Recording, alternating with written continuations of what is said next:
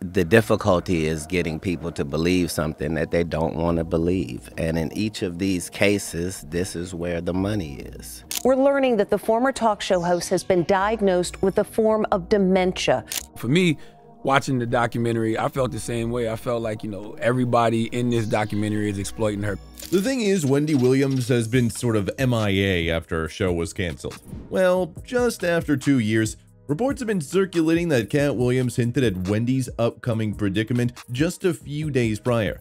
Katt alleged that celebs who are trying to deviate from the elitist agenda are handled in a way that destroys their reputation.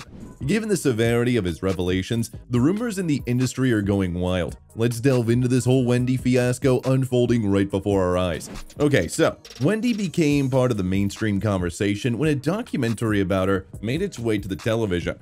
Now, the documentary that was titled Where is Wendy Williams asks some major questions regarding Wendy's deteriorating image.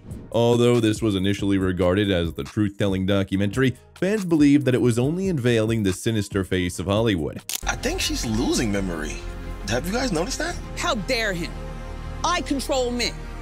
I weigh 138. Fans noted that this doc was aimed at proving Wendy Williams as an incapacitated person and nothing more. The word on the street is that since Wendy has had a great impact on the community in general, the higher-ups are trying to discredit all of her recent claims. Charlamagne the God also gave his two cents on the issue, claiming that everyone involved in the production of the doc was essentially trying to milk every drop of Wendy's money, while trying to omit Wendy's presence from the media. For me, watching the documentary, I felt the same way. I felt like, you know, everybody in this documentary is exploiting her because and it, it surprised me to see that her son was an executive producer because mm-hmm. there's no way I would want my mother to be seen no, ever in that light. The belief was further solidified by the statement given by the producer Mark Ford. He said, At a certain point, we are more worried about what would happen if we stopped filming than if we continued. It looks like there was indeed foreign pressure to make this documentary. Katt also joined the conversation when he revealed a few days prior that Wendy might be on a spiral because higher ups allegedly want to get rid of her perceptive image, and we can see truly how devastating an effect this documentary had on her image.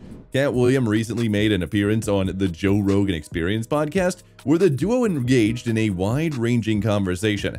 During the podcast, Williams delved into Hollywood's alleged hidden agenda, accusing the industry of serving as a propaganda arm for the government. He claimed that despite what the majority of people think, Hollywood's just a tool for the higher ups to manipulate the perception of certain things, which could ultimately help in their favor. He said, Hollywood is not really there to entertain you. Like, that's great if that happens, but propaganda is important to all civilizations. It makes sense as we have all known that Wendy has been speaking up about Hollywood secrets ever since her radio days the difficulty is getting people to believe something that they don't want to believe. And in each of these cases, this is where the money is. Anyway, when the rumors about Wendy being incapacitated started going around after she acted out on one of her talk show episodes, she tried to defend herself against the claims. Me saying I'm not perfect, I've done that for almost all 30 years of my broadcast career, you know, she noted that there are always people looking to pick and poke, and that was before social media. And all of a sudden, social media came up and people got together and they want to think what they think. Little did she know that this was just the beginning of her downfall. Talking about the documentary, there was so much more drama behind the scenes that many of you are blissfully unaware of.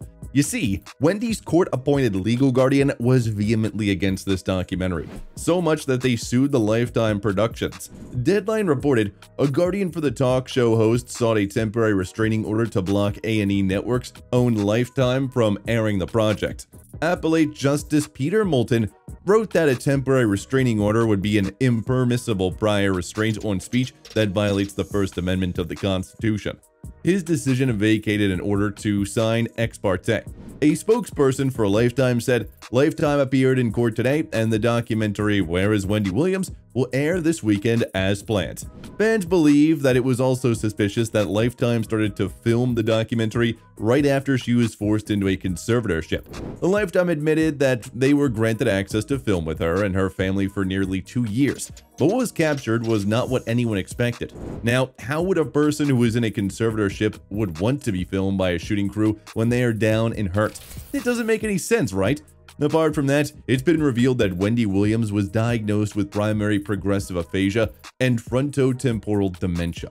If you think about it, it's unlikely that Wendy would want to publicly disclose her medical history right before the release of her documentary. Fans believe that these steps are a carefully planned propaganda against Wendy. The news was shared in an official statement provided by the decorated broadcaster and personalities care.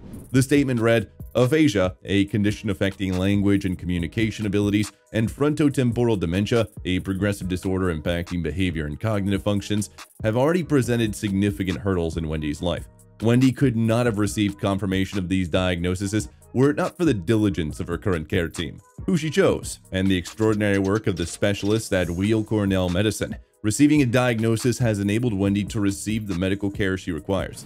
To make matters worse, Wendy's so-called team claimed that they wanted to relieve Wendy of being stigmatized due to her disease, which is quite strange, as Bruce Willis has also been suffering from the same disease, and no one has ever shamed him of his legacy.